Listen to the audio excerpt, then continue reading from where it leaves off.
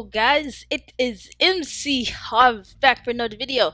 Um, and this video is not like a little let's play or anything. This is a um not a fully montage speed art, but it is a semi montage because I tried to record the first time, but it uh only recorded uh it only recorded 59 seconds. So this is the outcome of what I did.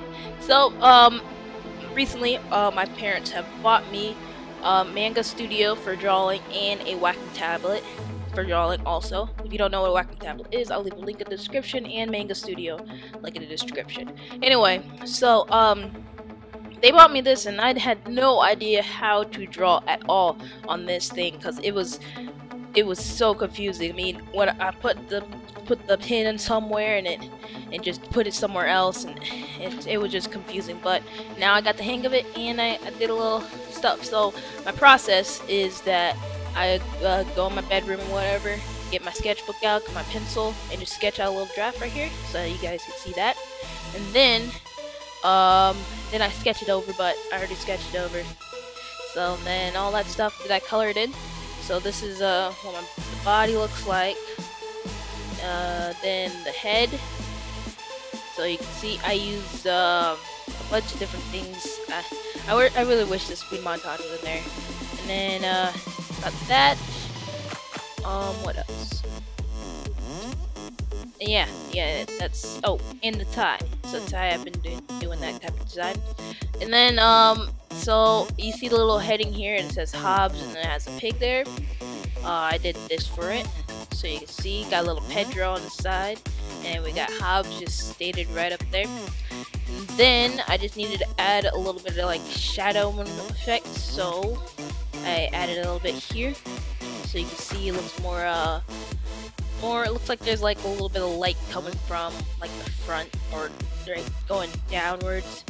Um, then I added some shadow in the back of Hobbes trying to do that a little bit. Oh and I added some on the pig too then, um, background, I did not know what to do. I was gonna do like some like, like things. I don't, I don't know. And then, so I just did this. Uh, yeah, I did that. then I switched it off to be this.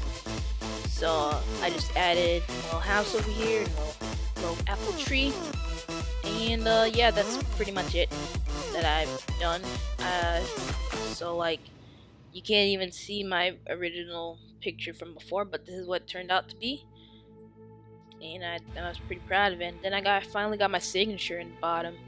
That was took a long time to figure that out. But yeah, so this is my final, um, I guess, uh, project that I've been doing. I'm also doing like a t-shirt design for like soon when I reach a, a thousand subscribers probably have that t-shirt design out and uh, yeah. So this is this is uh this took a pretty long time actually. It's like it's actually four o'clock right now. I finished at like three, and I started at eleven.